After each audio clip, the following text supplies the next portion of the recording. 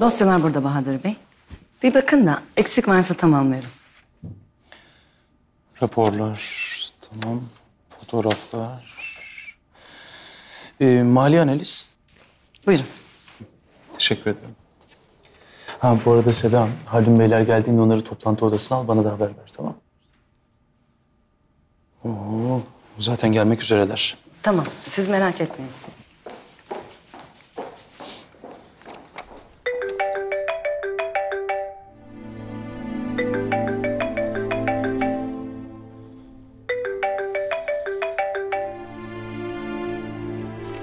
Alo hayatım.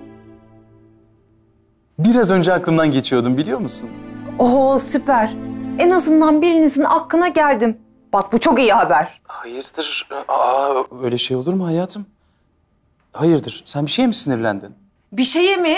Sabahtan beri o kadar çok şeye sinirlendim ki bir değil on şeye sinirlendim. Hayrola kötü bir şey yok ya. Onu bilemeyeceğim artık. Önce annenle kardeşin çocuğun peşinden hastaneye gittiler. Ardından da yanlarına Aysel'i çağırdılar. Haldun Beyler geldi. Toplantı odasındalar. Biraz da aceleleri varmış. Hemen geliyorum. Ee, hayatım bak benim kapamam lazım toplantıdan bekliyorlar. Ne? Ben konuşuyorum şu anda ben. Neyi kapatıyorsun ya?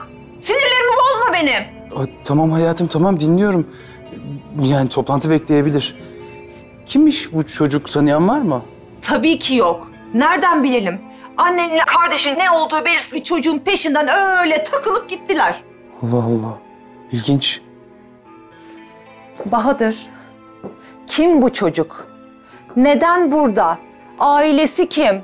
Annenle kardeşin niye onunla gidiyor? Ya bak burnuma çok kötü kokular geliyor.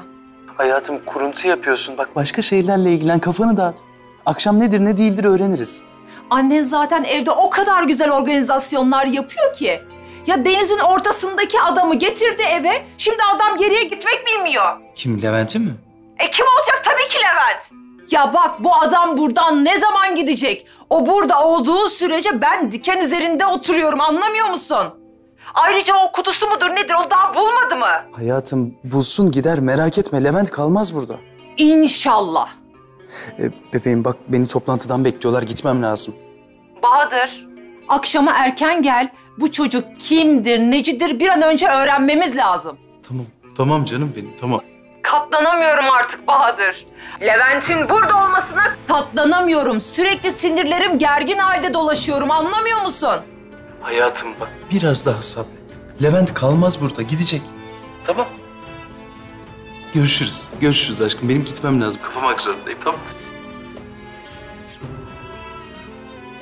Zaten şu servetin üstünde oturmasan sana da iki dakika katlanmayacağım Bahadır. Katlanmayacağım.